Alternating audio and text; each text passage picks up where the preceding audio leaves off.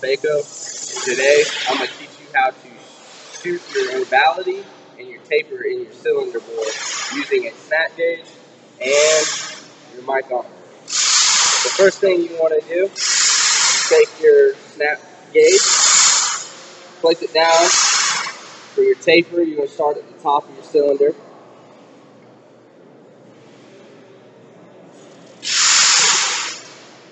place it in there, make sure you got it as level as possible.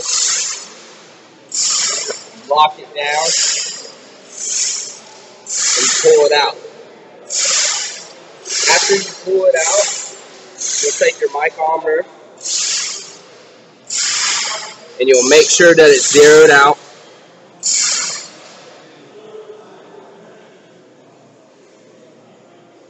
Open it up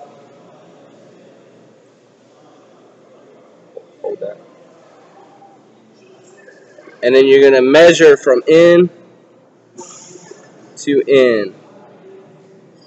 And right now, we're sitting about at 37. Right there. About 37. And that will be the top of this cylinder that I just measured. To get your total taper, you'll measure in the middle and then also at the bottom and then and then you subtract them. Subtract them, and then you get your total taper for that cylinder. Now, to test your ovality, you're going to take your snap gauge again. You're going to place it in the cylinder the same way you did the first time. You're going to pull it out. You're going to measure it. Once you measure it, which it was 37, you're going to unlock your snap gauge and you're going to place it in directly 90 degree difference. So you're going to make like a cross pattern inside the cylinder.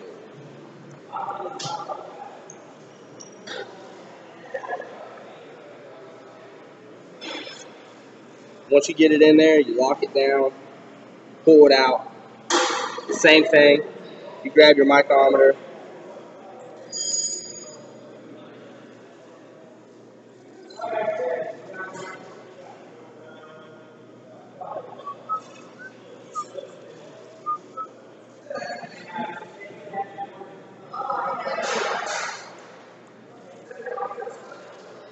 Please excuse us for technical difficulty. And you're going to measure it. And here, as you can see, we got 30.